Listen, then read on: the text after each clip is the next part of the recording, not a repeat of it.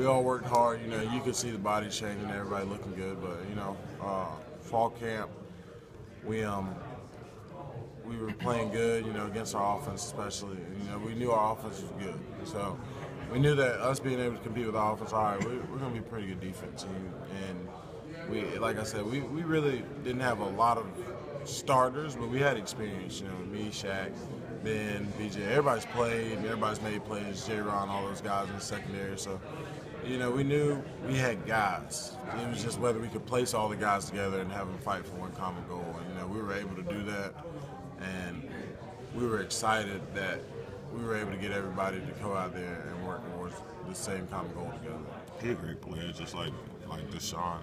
Um, and, uh, we just we just gonna keep them in the pocket and uh, come after them. and do do what we do against all great quarterbacks. You know, so try to apply some pressure.